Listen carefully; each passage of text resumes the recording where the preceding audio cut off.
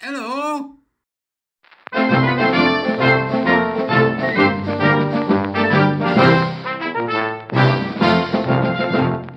Beep, beep, beep, beep, beep. Welcome to the Court of the EDIJester. How are we, good people?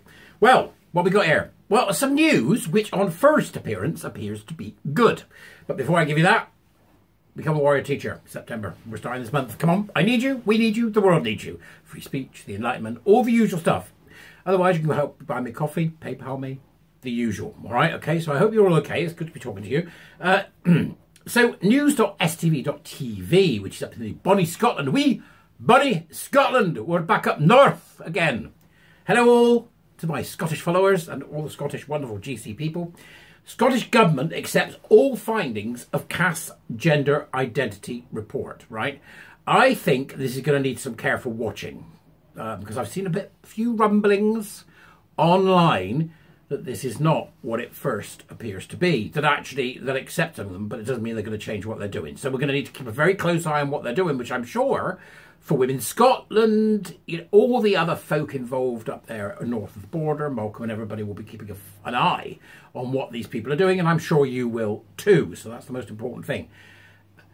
What it says here is a multidisciplinary team, clinical team, considered the Cass report's recommendations in the context of Scottish services.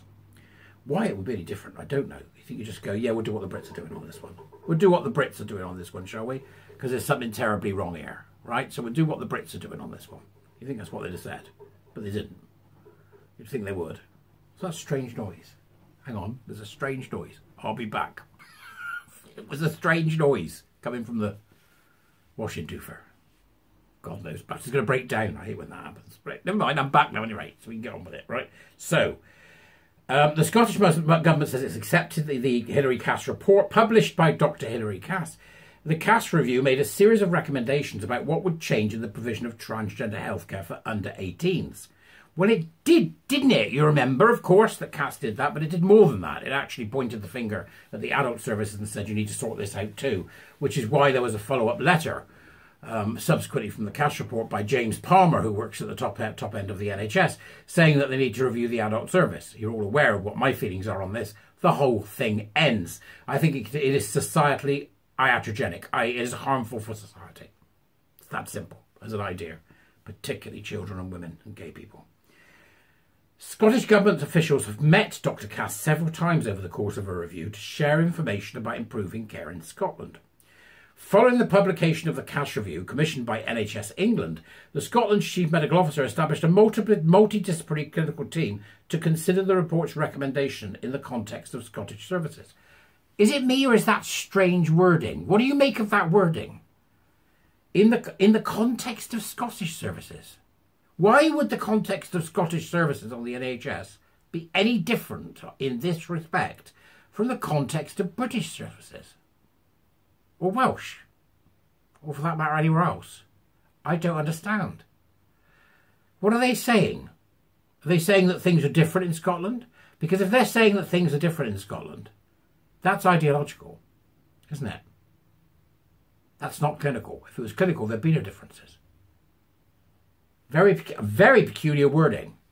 On Tuesday, Public Health Minister Jenny Minto confirmed that the Scottish Government had accepted all the findings of the Cass Review, the implications for Scotland report published in July, and that the work is underway to implement its recommendations. Gender identity healthcare. This is what they're saying they're going to do. Gender identity healthcare services for children and young people being provided in paediatric clinic settings. Moving it from the Sandyford Clinic in Glasgow. Sandyford, for those of you that don't know, is the Scottish Stonewall. We know what they've been up to. The provision of these services via a distributed network or regional model rather than on one side. I don't know what that means, but it's very peculiar.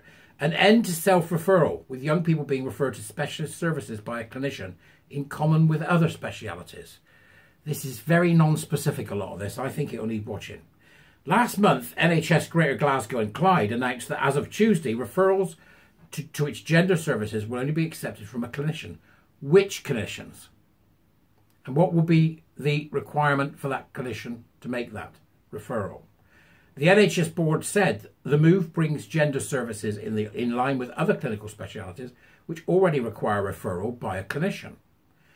There are currently four NHS gender identity clinics at Glasgow, Sandyford, Edinburgh Chalmers, and Aberdeen Cornhill, and Inverness Reg, uh, Reg, Regmore. I hope, I hope I've said that right, Scottish people.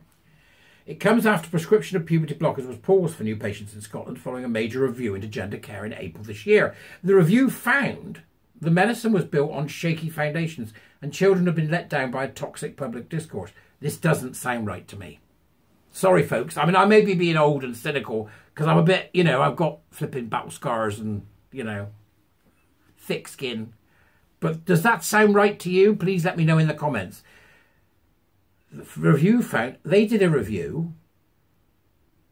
This is weird. And found that it, medicine was built on shaky foundations and children have been let down by a toxic public discourse this doesn't sound right. To, I mean, it could be just the writing by this particular web page, but it doesn't sound right to me. There's something wrong. In a statement, Minto outlined work which is underway to implement the report's recommendations, including the publication of a new national standard for gender identity healthcare. National standards for gender identity healthcare. We're getting to the point where we realise gender identity doesn't exist. What are they doing? Adults, young people uh, will be the gender identity healthcare service. The new new standards will be for adults and young people and it's being done by Health Improvement Scotland. Minto also highlighted the publication of a progress report on work to improve these services.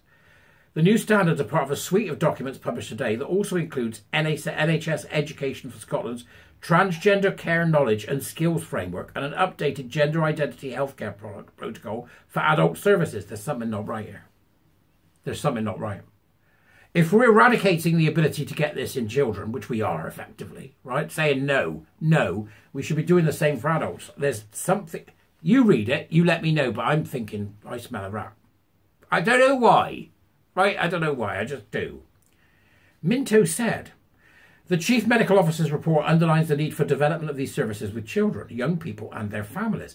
I am determined the young people using these services and their families are our priority and will be at the heart of all our discussions about how, how the care is provided. No, no, no, no, no. They see? Is it me? Have I got this wrong? Please do tell me, because I'm, you know, always happy to prove wrong. Let me know in the comments whether you think that I smell a rat. Link to it's in the Dubris, right? There is now a breadth of work, Minto said, underway to take forward the recommendation of the CMO's report which illustrates our commitment to deliver gen- improved gender identity healthcare for young people. So we started off with we're going to implement Cass, and we've ended with our report says we're going to give improved identity healthcare, gender identity healthcare for young people. In addition, the suite of documents relating to gender identity healthcare provision published today, which were developed following extensive public consultation and targeted consultation with people with lived experience, will support clinicians in a wide range of professional bodies and help drive improvements in service. There's something wrong.